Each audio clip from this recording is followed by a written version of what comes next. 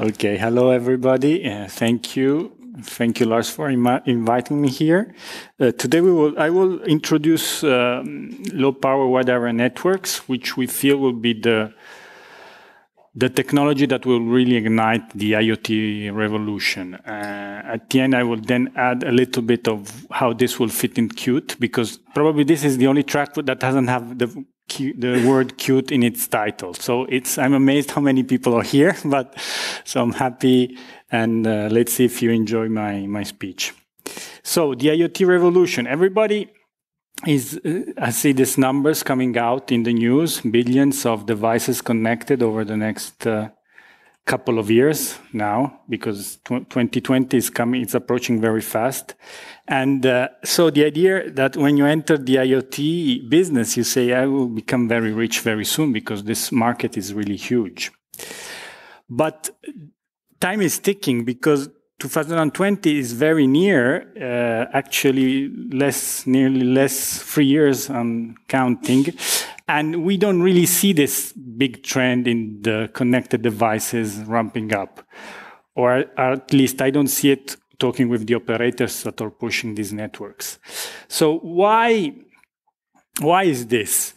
We think that the main problem is the connectivity of these devices. Actually, most of the IoT devices right now, uh, IoT strictly speaking, uh, are uh, cellular connected, which is a little it's expensive both from a power point of view and also an economical point of view. So you cannot really scale up to the billion devices that we people are uh, talking about. So what do we really need? So the iot devices need to be deployed everywhere they need to deploy it very easily you don't need you don't want any interaction with firewalls so no TCP/IP at the connection level, that also enhances the security because it's more difficult to hack a device that doesn't have TCP/IP. Uh, you don't want problems with power sources. Essentially, you want devices that work on batteries. Connectivity should be cheap or possibly free. And uh, you should have a very long range and good, excellent coverage in indoor indoor. Where indoor, mm, I mean, because most of the use cases we see today are on concerning IoT devices or for reading indoor devices and not only outdoors. Essentially, you need a deploy and forget devices. You just put, plug in the battery, turn it on, and throw it in the field, and this will start transmitting data for years to come.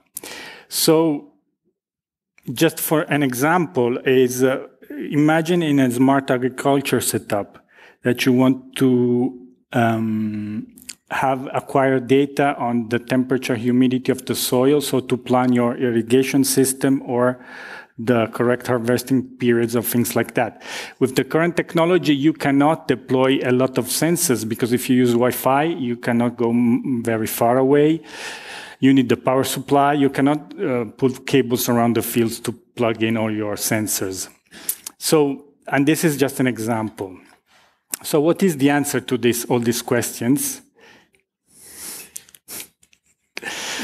Uh, the answer is low power wide area networks, and uh, which essentially have uh,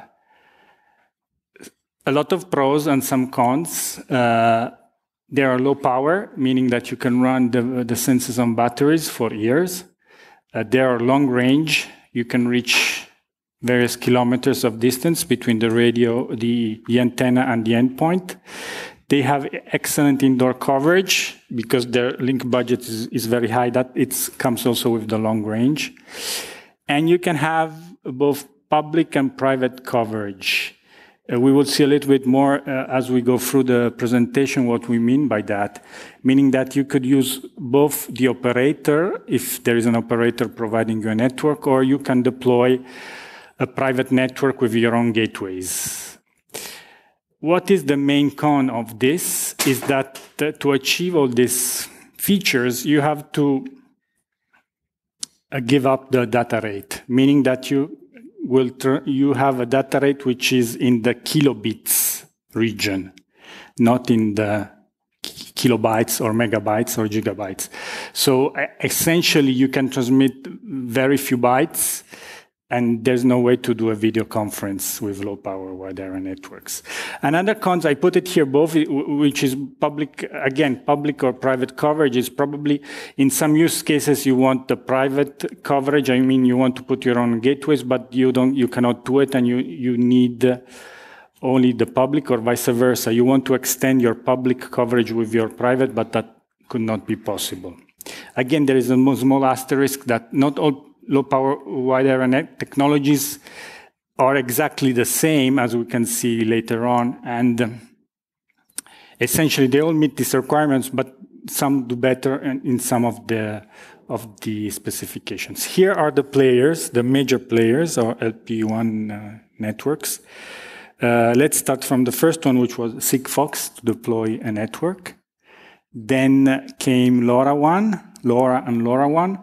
LoRa is the protocol and LoRa, uh, LoRa is the, sorry, it's the modulation technology, which is closed source. And LoRaWAN is the protocol on top of LoRa, which is instead is open source.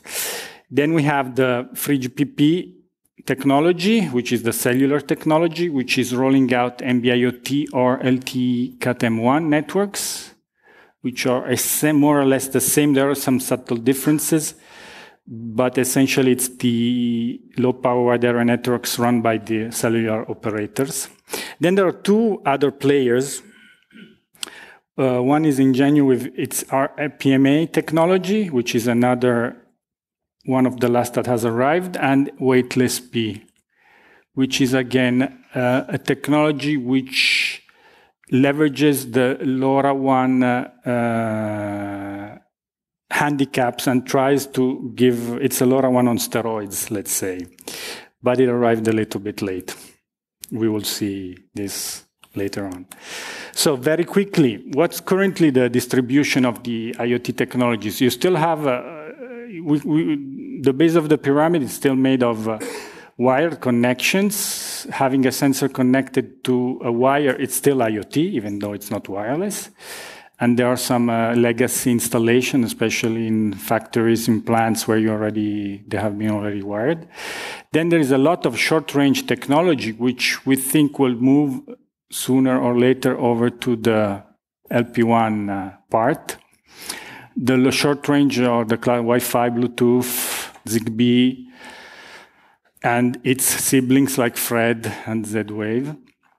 Then we have the low power wide area networks, which is the one we were talking about right now. Then the cellular and the satellite. There's also satellite. If you have enough money to pay the, the connection, you can deploy a sensor in the middle of the desert or the North Pole. Uh, logically, they will still, every, all this technology will still remain because you cannot have a low power network probably in the middle of the desert or the ocean, so you will still need the satellite for some use cases. But that, again, it's the extreme, it's the, the extreme of the, of the curve. Overall, the most important thing is that battery and coverage is what will uh, make the the deal. The higher the coverage, the higher the battery life, the better, the more sensors you can deploy. And that is exactly where low power area networks will fit. Again, this is a a very quick, just to indicate the sweet spot of what we feel it's the the solution to to make this IoT market explode. So here now some examples of uh, a long range connection. This is a real connection we made, I made personally, uh, connecting a node to the Swisscom network. I was in Milano, 45 kilometers away, and the node connected to the network. This is to show that the long range works. This, again, I want to stress this hasn't been a test that has been conducted to achieve the highest uh, uh, distance. There are tests, if you Google uh, or you go on, on YouTube, you will find people that made LoRa connection over 200 kilometers. And uh, between two mountains in Switzerland and Germany. And uh, so this is was uh, we were testing a node. We turned it on in in Milano, and it connected over to the Swisscom antenna in uh, in Switzerland and we we managed to replicate it. It wasn't just once. Again, it, it has a lot of uh, uh, it, it won't connect everywhere throughout that line, but in, in many places it did. Another, uh, mm, the other major feature of these LPWAN networks is the battery life. This is a commercial LoRaWAN sensor. You can see the URL there. It's from a Swedish company called Elsys. And they have on their website uh, the battery simulator. Uh, if you put in, I, I filled it in with uh, four transmission per hour up in the upper uh, box, and uh, with four transmission per hour, which is quite, I think, for many use cases, more than enough. And with just a single AA battery, which has 2,500 milliamperes, it could last 13 years. Uh, this is achieved just to give you, uh, it's not that the battery, it's not that low power, uh, it's uh, the LPWAN technology, or LoRaWAN in this case, is that it's more, it's particularly power efficient compared to other technologies. Is that the trick is that you shut down the node when you don't need to transmit. So you stay most of the time in sleep mode. Again, the technology is very efficient when it transmits, so it doesn't need a lot of uh, power, but you need to power, turn it off. So some use cases that need, uh, we will see it later on. So eh, you need to turn off your devices to achieve this battery life and turn them on very, very rarely. And when they're off, you cannot reach them with the downlinks from the cloud. So that, again, depending on the use cases, maybe you cannot achieve this battery life. Again, here it's um, the major, just to introduce the major differences between the different, different technology of the various low power WAN networks. Uh, essentially, the first major difference is between the licensed and unlicensed band. Uh, NB-IoT and the operator is uh, um, operator is, runs on the operator frequencies. It's on the license band, meaning that the operator has paid for the frequency. Instead, most of the other technologies run on the unlicensed one. And this brings a couple of uh, uh, problems that we will show in the next slide. Then there are scenarios, some technologies can be both public and private. Public and private mean that you can run your own network buying your own gateways and setting up your own network. And this is true for LoRa, Weightless, and RPMA. Sigfox instead, even though it runs on the unlicensed band, the free band, you cannot put your own uh, network. You have to stick with their, just with their network. Sigfox is more like an opera, a worldwide operator which is trying to cover all the countries of the world. And then there's a final division on the frequencies band on which you will use the low power ones. Uh, RPMA is the only one that uses the 2.4 gigahertz band, which is one of the two ISM bands, or one of them, there are more than two ISM bands. And the, the peculiarity is that the 2.4 is the same all over the world, so you just need one hardware. Instead, if you go in the sub-gigahertz bands, like Weightless and LoRa, depending on which region of the world, you need a different, you are using different frequencies, and in theory, different hardware, even though if at the end the chip makers use the same hardware.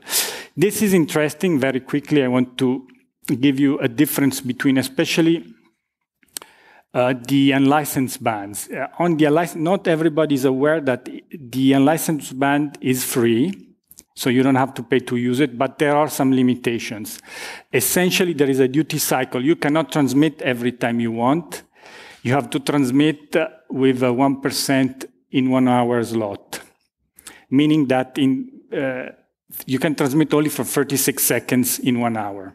After that, you cannot anymore. Nobody is is uh, stopping for you from from doing that. It's that if some, if the regulatory offices find out that you're transmitting more, if you have one million of sensors, they will shut you down and fine you because you're transmitting too much.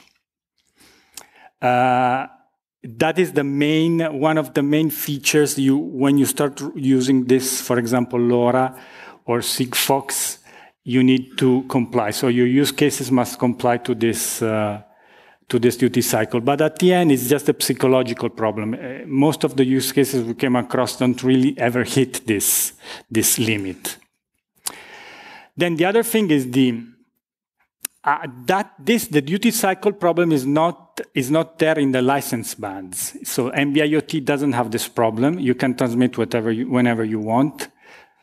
Take into account that the more you transmit, the more power you use, and so the less the sensors will uh, will last. Uh, public or private network, we've seen it before. I already told you about that. Uh, some technologies enable you to build your, your, own network, like LoRa or Weightless. Some others don't, especially the licensed one. You cannot build your own network because you have to buy the frequency. And also Sigfox, which is using the, the unlicensed band instead. They didn't, they, they don't give you access to the to the gateways and you cannot put down your own gateways. Uh, last one is the method of transmission and how the node goes on air. You have or aloha or tdma aloha means it's as maybe most of you know hello in uh, hawaiian and it means that the, the node transmits whenever he wants there is no synchronization with the with the gateway. Instead, time division uh, access TD, TDMA, there is a negotiation between the node and the central station, and the central station tells the node his allocated slots in time to transmit. This uh, uh, transforms in a potential problem in capacity. When you have uh, millions of nodes transmitting all at the same time, it is probable that the network will collapse very, very easily.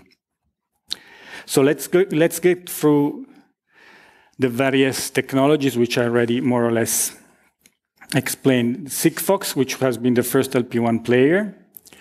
It is an operator approach, so you cannot do private networks. It is extremely low data rate, 12 bytes. You can transmit only 12 bytes in the, in the packet, and at maximum 140 packets per day. There are some questions on its security because it was one of the first players, and there are blogs around that people say that they cracked the security, but it's not really confirmed. Uh, again, its scalability since it's pure Aloha. And uh, the, one of the major advantages of Sigfox instead is that it's cross-country. Having a single operator building throughout the world means that if you have a sensor, you can move it where, uh, all over the world and it will connect where there is coverage.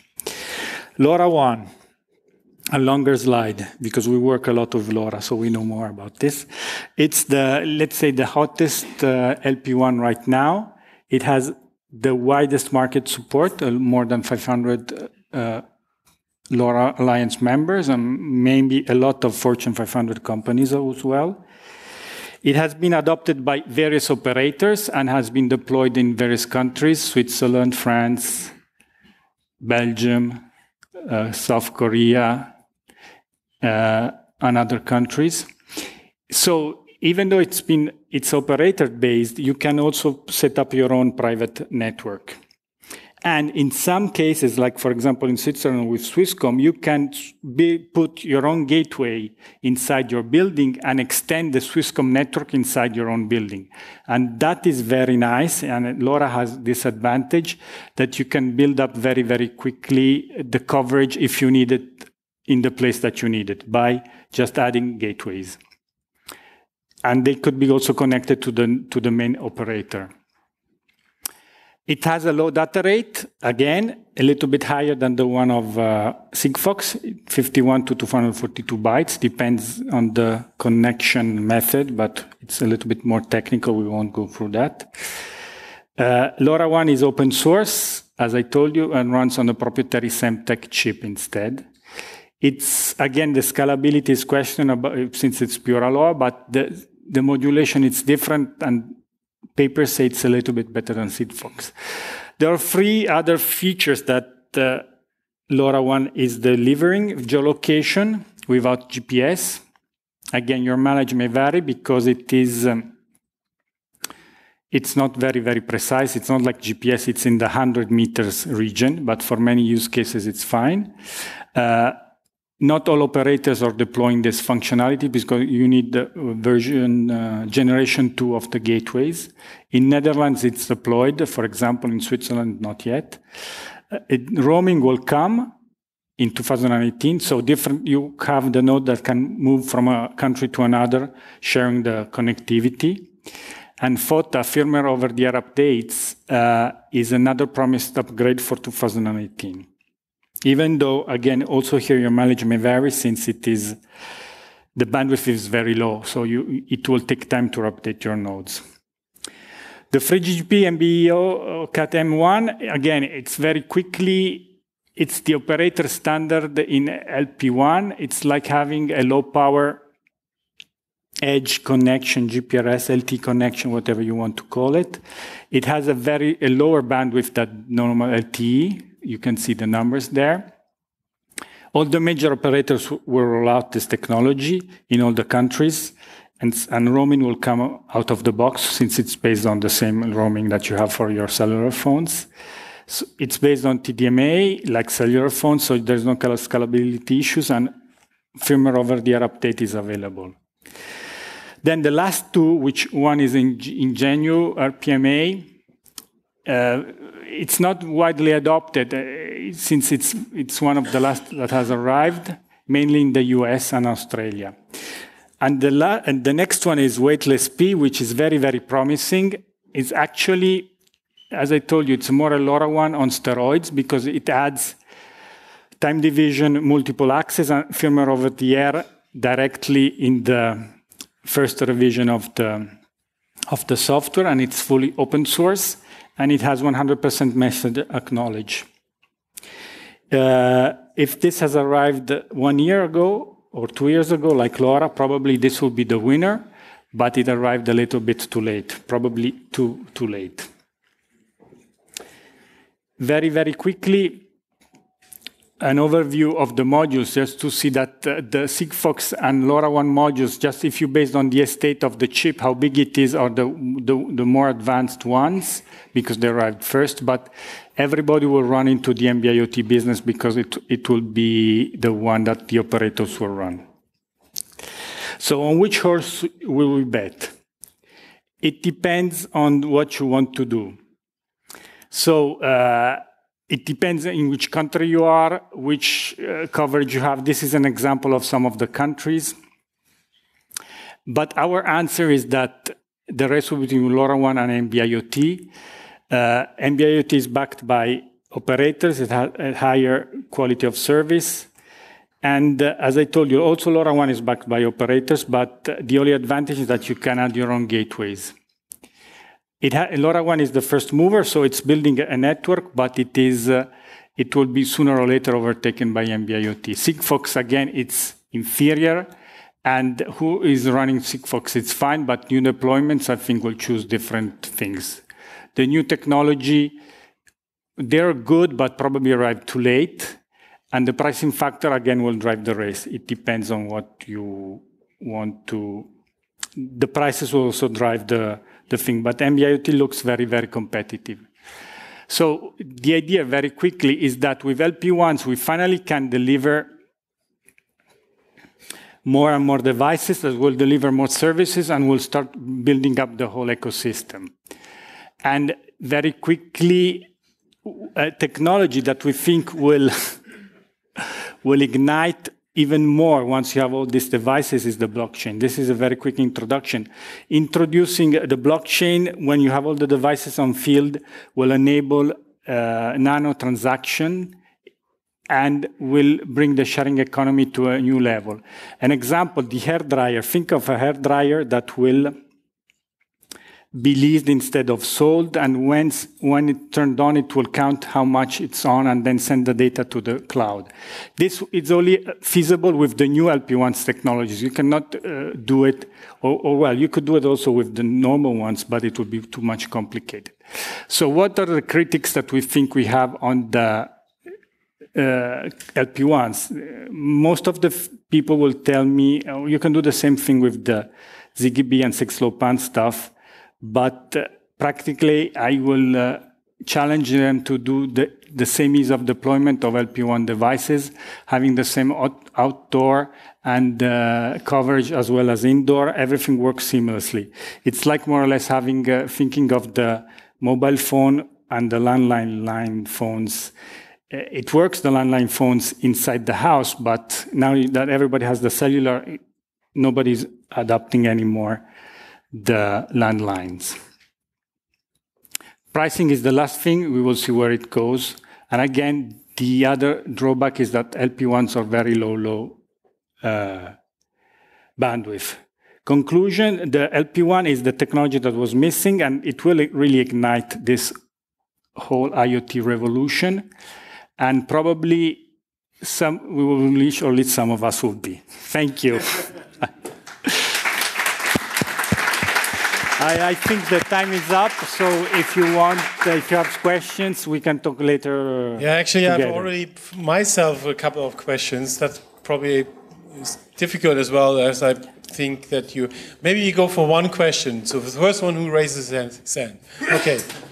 So you you mentioned smart farming. Could you elaborate a little bit on the use case there for Uh, smart farming is actually the best uh, scenario for LPWANs because you need to deploy sensors in fields where you don't have cables or connections.